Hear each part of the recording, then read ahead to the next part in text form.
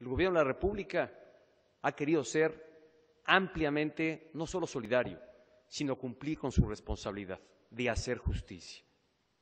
Esta ha sido la misión, la tarea y el empeño que ha tenido el gobierno de la República. Ningún otro.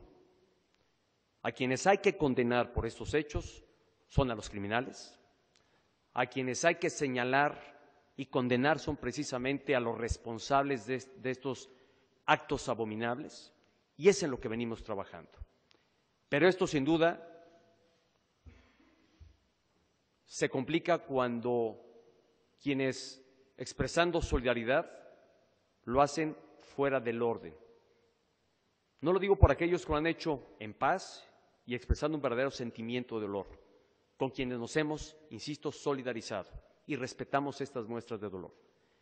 Pero no podemos aceptar aquellas que han recurrido al uso de la violencia, al ataque a las instituciones, al ataque a lo que han construido la sociedad mexicana, lo que han construido todos los mexicanos.